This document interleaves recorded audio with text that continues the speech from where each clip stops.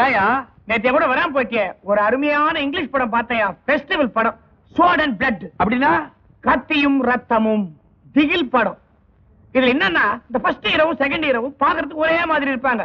நடிச்சிருக்கிறது யாரு? நம்ம சபாஸ்டினோ கிரசண்டோ double act அப்போ ஒருத்தனே ரெண்டு ஆக்ட் கொடுத்துருக்கான்ற கரெக்ட் இது இன்னொன்னு என்னன்னா படத்துல ரெண்டு ஹீரோயினும் ஒரே மாதிரி இருப்பாங்க. நம்ம கிளான்டினோ மாரி மிஸ் அவளும் டபுள் ஆக்ட் அப்போ அந்த பொண்ணு ரெண்டு ஆக்ட் கொடுத்துருக்குதா? அதே அதே. இப்போ எல்லா படத்துலயும் மொட்டை அடிச்சுக்கின்னு வில்லனா நடிக்கிறான ஒருத்தன். அதான் இந்த குட்டிக்கோ மொட்டை கோசு அவனும் இதுல அண்ணன் தம்பியா டபுள் ஆக்ட் கொடுத்துருக்கான் இந்த கதையில அப்போ ரெண்டு பட்டம் வருது. கரெக்ட் இப்ப கதை எப்படின்னா இந்த ஒரே மாதிரியா இருப்பாங்கன்னு சொன்னனே ரெண்டு ஹீரோ அதுல இந்த முதல் ஹீரோ மாதிரி இருக்கிற ரெண்டாவது ஹீரோ என்ன பண்றான்? இந்த ஒரே மாதிரியா இருக்காங்கன்னு சொன்னனே ரெண்டு வில்லன் அதுல இந்த ரெண்டாவது வில்லன் மாதிரி இருக்கிற முதல் வில்லன் வீட்டுக்கு போயிடுறான். அங்க என்னடான்னா இந்த ஒரே மாதிரியா இருக்கிறாங்கன்னு சொன்னனே ரெண்டு ஹீரோயின். அதுல இந்த முதல் ஹீரோயின் மாதிரி இருக்கிறவ ரெண்டாவது ஹீரோயின் பெட்ல படுத்துடுறான் இப்போ இது வரைக்கும் புரியுதா? சுபா மேல போ. இந்த ஹீரோ வீட்டுக்குள்ள நுழைய வரும்போது ஒரே இருட்டு காரணம் பவர் கட் அந்த வீட்டுல இப்ப ஒரே ஒரு மெழுகுவத்தி மட்டும் எரியுது. ஒரே ஒரு மெழுகுவத்தி இதை நல்லா நோட் பண்ணும் கதைக்கு ரொம்ப முக்கியம். ஒரே ஒரு மெழுகுவத்தி இந்த ஹீரோ என்ன பண்றான் உள்ள கால் எடுத்து வைக்கும் போது பாக்குறான் வெறாண்டால ரெண்டு நாய்க்குட்டி படுத்துன்னு இருக்குது ஒரே மாதிரியா. பேடிக்கு என்னன்னா அதுவும் டபுள் ஆக்ட் யோ சே ஏயா நாய் கூட டபுள் ஆக்ட் நீ நீ?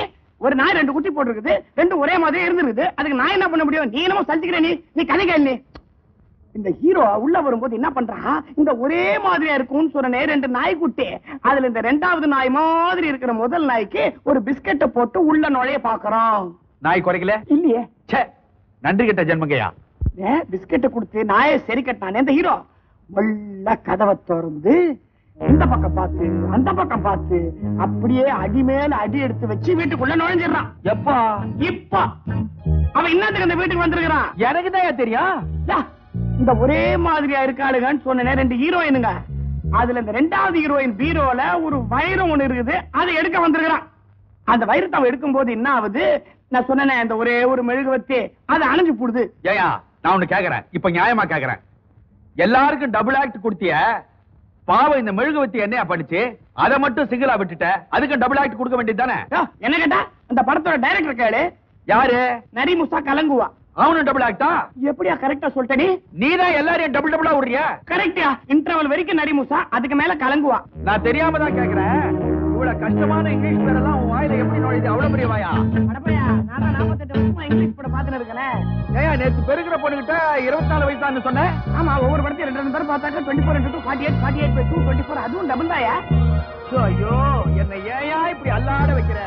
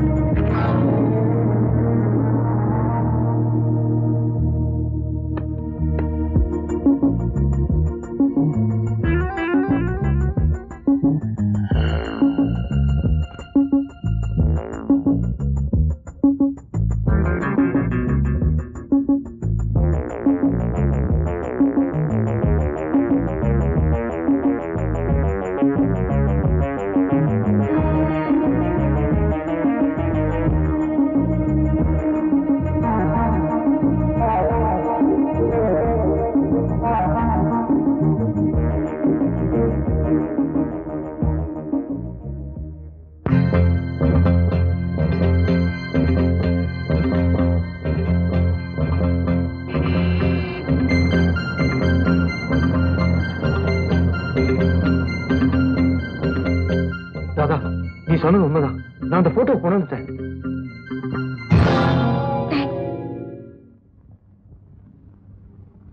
அப்பா நீங்க என்கிட்ட பொய்யே சொன்னதில்ல இல்லையா?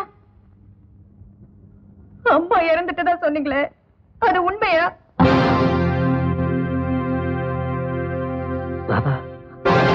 கழுத்துல மாலையோட உங்க பக்கத்துல நிக்கிறாங்களே இவங்க யாரு?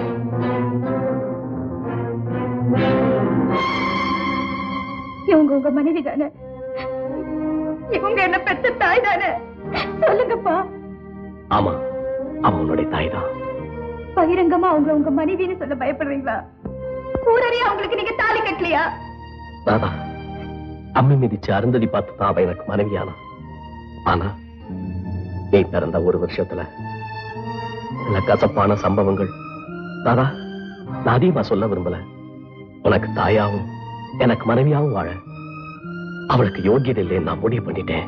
நீங்க ஏன் அந்த முடிவை எடுத்தீங்கன்னு கேட்கக்கூடிய தைரியமோ வயசோ எனக்கு இல்ல.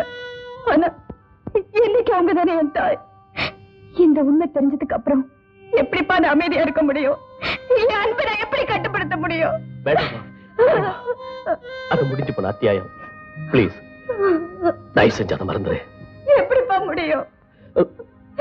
ராதா ஒன் மினிட் ஒரு நிமிஷம். தயவு செஞ்சரு நான் வந்துடுறேன் வரேன்.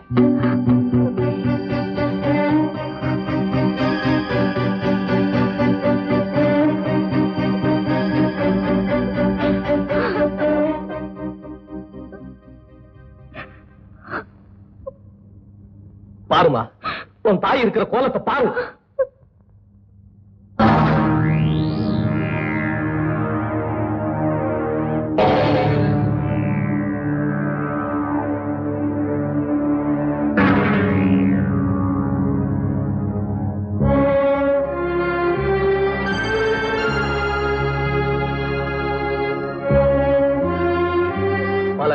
அணைப்புல கொஞ்சிக்கிட்டு குலாவிக்கிட்டு கேவலம் பேர் புகழுக்காக இந்த அவலமான வாழ்க்கையை நடத்திக்கிட்டு இருக்காளே. சொல்லுமா? இவளை அவன் தாயின்னு கூப்பிட நினைக்கிற? ராதா நான் அதிகமா பேச விரும்பல. நீ புத்திசாலி. உன் மேல எனக்கு நம்பிக்கை இருக்கு. கடைசியா சொல்றேன். ஸ்கூல் வாத்தியார் மகளா இருக்கணும்னு நினைக்கிறியா? இல்ல ஒரு நடிகனுடைய மகளா இருக்கணும்னு ஆசைப்படுறியா? பதினாறு வருஷமா என் சக்திக்கு முடிஞ்ச வரைக்கும் எந்த குறையும் இல்லாம உன்னை வளர்த்த அவ தேவையா? கவர்ச்சியா அலங்காரமா வாழ்க்கை அமைச்சுக்கிட்டு இருக்காளே. அவ தேவையா? நானா அவளா? தாயா தகப்பனா? என்னுடைய முடிவே உன்னுடைய பதில்ல தான் இருக்கு.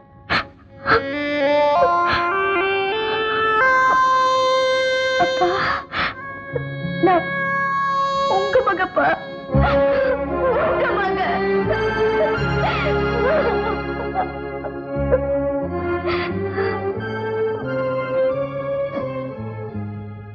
ராதா எந்த சந்தர்ப்பத்துல நீ அவருடைய மகளா உன்னை காட்டிக் கூடாது அம்மான்னு கூப்பிடவும் கூடாது.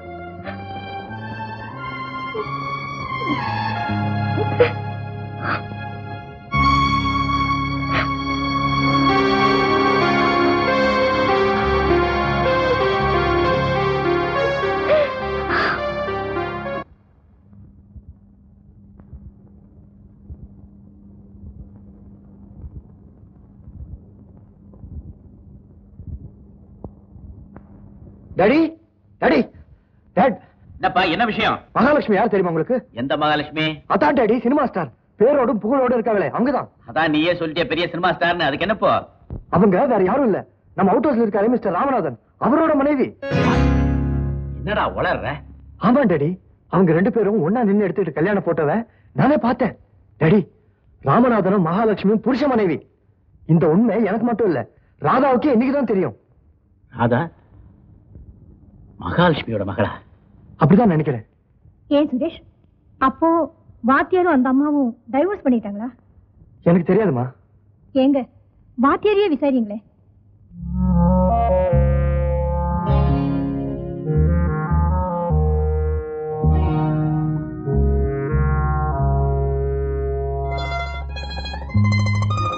மிஸ்டர் ராமநாதன்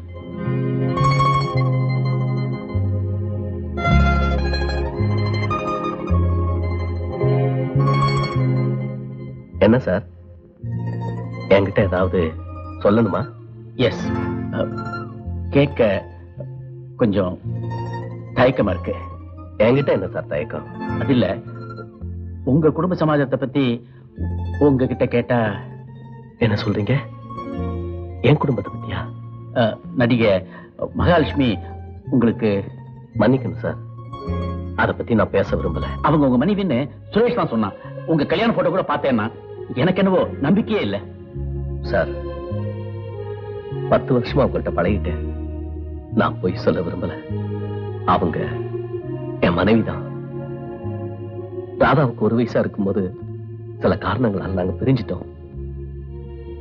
இதுக்கு மேல என்ன எதுவும் கேட்காதீங்க.